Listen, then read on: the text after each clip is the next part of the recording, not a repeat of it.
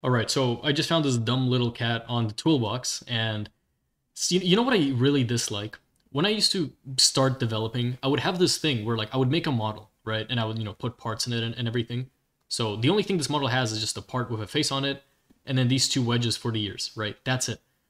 And none of these parts are anchored, by the way. So none of the, yeah, none of them are anchored. And so I would make models, and then I would try to move the model, and then when I would try to move the model, only like one part would move. So I would try and change the position of some part, like this, right?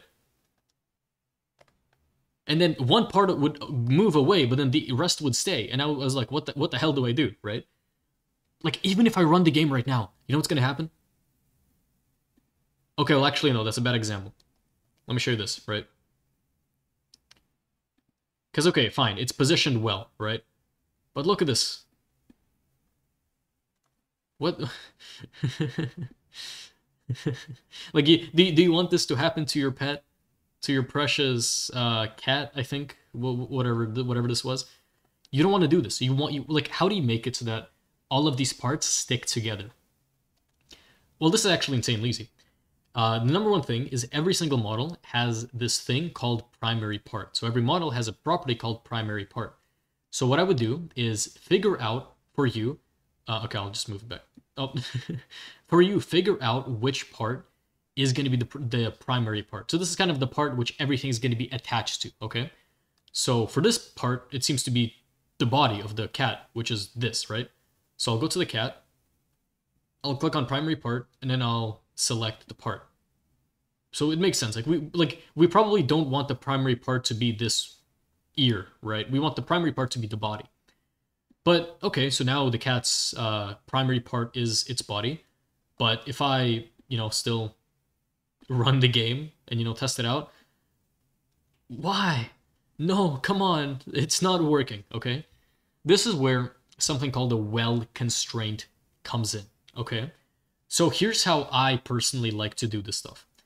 Figure out which um, which part is your primary part, okay? So for, for the cat, it's this part, right? And then count all of the other parts which are not primary parts. Okay, so so so like so like omit omit the primary part. So as it as if the primary part doesn't exist, count all of the other parts. So right now there are two other parts. Okay, so what I'm gonna do is I'm gonna add two weld constraints to the part. Okay, so our primary part is gonna have the same amount of weld constraints as there are other parts inside of the model. Okay, and then in, inside the weld constraint, you set the part zero to be the part, the, the primary part, right? So you set part zero for both of them to be this part. And then um, part one, you just do all of the other parts. So for this weld constraint, it's going to be, part one is going to be this ear. And for this weld constraint, part one is going to be the other ear. That's it. That's the beauty of it. that that's it. There we go. Everything sticks together, right?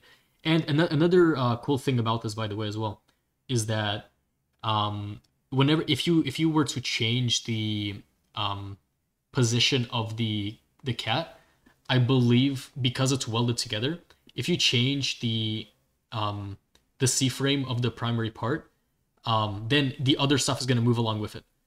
So, for example, if I if I say okay, position is equal to let's say seventy five. Yeah, there we go. Amazing. So as you can see now, because it's welded together, because we changed the position of the of the primary part, um, the ears move along with it. But I believe if we change the position of just the ears, uh, oh, it doesn't it doesn't even let me do that. Okay, so yeah, so we, we can't even change the position of the ears. it's because they're welded to the part. Um, yeah, so because the wedges are welded to this part, um, then then we are allowed to move this part. Okay like so. 81. There we go. We got it. We got a nice little little cat over here. That's basically it, right? So if you ever need to actually, you know, teleport a model, um, but you it, it never worked for you, this is how you do it. Find out, figure out a primary part, um, and then inside the primary part, just add weld add a weld constraint for every other part that isn't a primary part. That's it. That's all you have to do. All right. Um, oh yeah, hopefully hopefully you found this helpful. Um, feel free to join the Discord server and check out my course in the description.